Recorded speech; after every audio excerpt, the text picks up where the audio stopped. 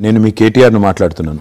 పోరాడి సాధించుకున్న తెలంగాణ రాష్ట్రం గత పదేళ్ళలో గౌరవ ముఖ్యమంత్రి కేసీఆర్ గారి నాయకత్వంలో గణనీయమైన అభివృద్ధి సాధించిన విషయం మీ అందరికీ తెలిసిందే. వ్యవసాయం నుంచి ఐటీ వరకు విద్య నుండి వైద్యం వరకు పల్లె నుంచి పట్టణం వరకు తెలంగాణ రాష్ట్రం నేడు సమగ్ర సమీకృత సమతుల్య సమ్మిళిత అభివృద్ధిలో దేశానికి ఆదర్శంగా నిలిచింది. దృఢమైన నాయకత్వం స్థిరమైన ప్రభుత్వం ఉండడం వల్లనే ఈ ప్రగతి సాధ్యమైంది. ఈ అభివృద్ధి కొనసాగాలి అంటే దానికి మీ అందరి ఆశీర్వాదం మీ అందరి సహకారం కావాలి. నవంబర్ ముప్పై నాడు జరిగే తెలంగాణ అసెంబ్లీ ఎన్నికల్లో మీ అమూల్యమైన ఓటును కారు గుర్తుకు వేయాలని మీ అందరికీ విజ్ఞప్తి చేస్తున్నాను. కారు గుర్తుకు ఓటు వేయండి తెలంగాణను గెలిపించండి.